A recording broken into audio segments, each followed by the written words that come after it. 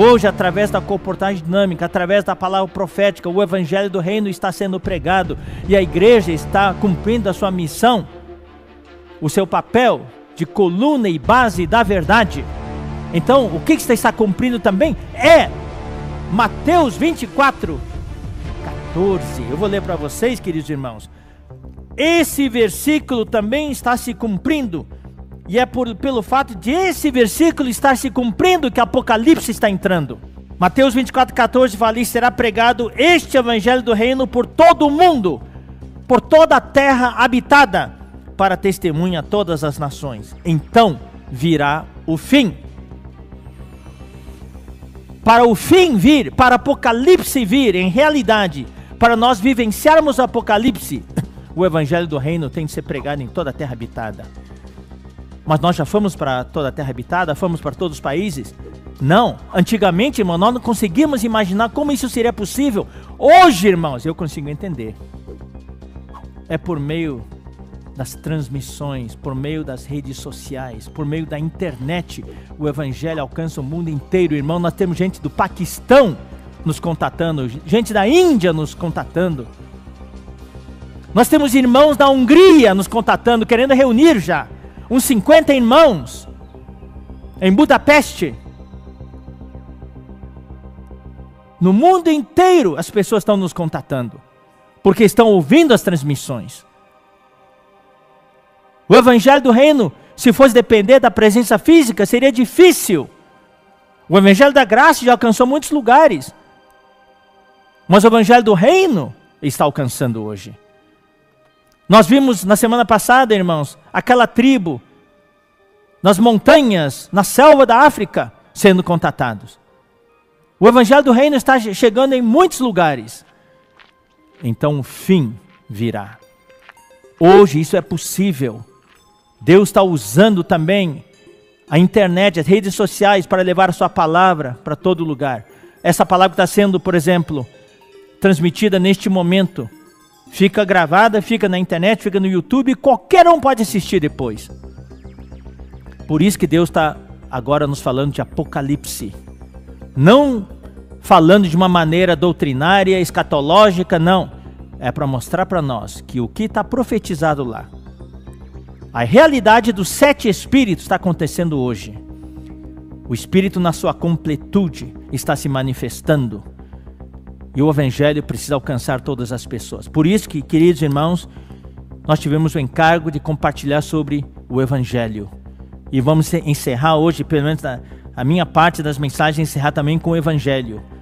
E o evangelho de Paulo é esse evangelho. Eu quero que vocês vejam, irmãos, quão lindo é o evangelho, quão maravilhoso é o evangelho.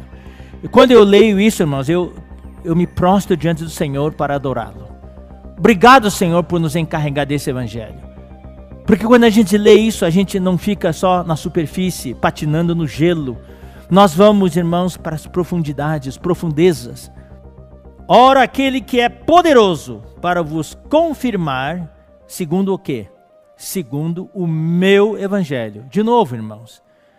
E a pregação de Jesus Cristo, conforme a revelação do mistério guardado em silêncio nos tempos eternos.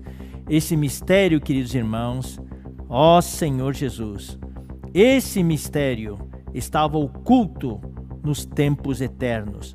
E eu vou ler o 26 também, irmãos. Vou ler o 26 também. E que agora se tornou manifesto e foi dado a conhecer por meio das escrituras proféticas, segundo o mandamento do Deus eterno para obediência por fé entre todas as nações o que está sendo pregado hoje, queridos irmãos, é o Evangelho de Paulo. De acordo com as escrituras proféticas, ou seja, o conteúdo do nosso Evangelho é a palavra profética, queridos irmãos. Valorizem a palavra profética que está sendo falada hoje. É um verdadeiro Evangelho.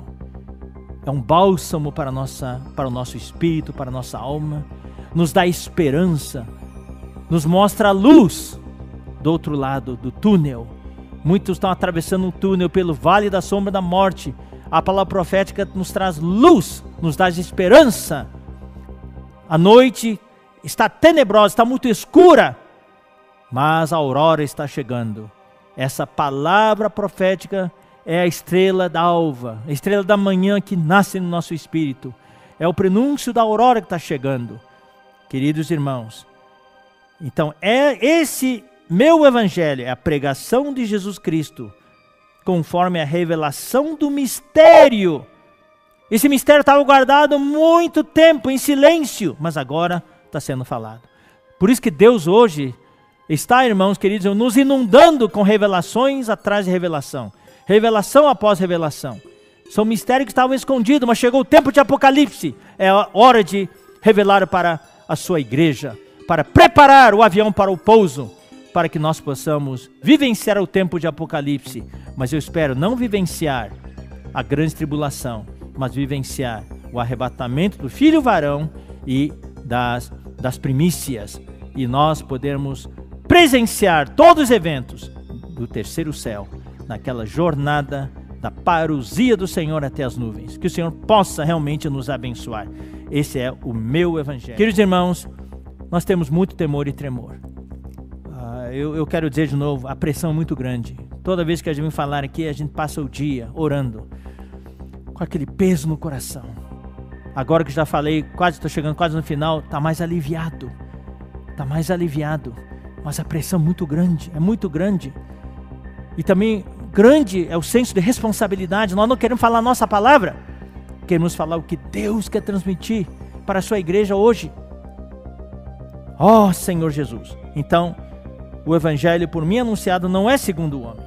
Por isso, irmãos, Deus quer, eu vou falar aqui em nome do Senhor, Deus quer que você e eu recebamos esse encargo de Deus. Recebamos o evangelho completo de Deus.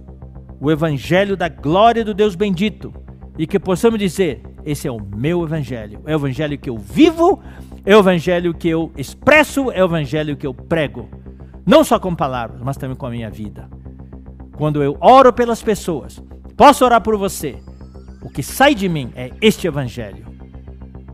Essa semana eu fui consultar o cardiologista e ele é, é um, é um médico renomado da Unicamp e ele expressou a sua preocupação e demonstrou muito cansaço físico, muito esgotamento por causa ah, dos atendimentos no hospital.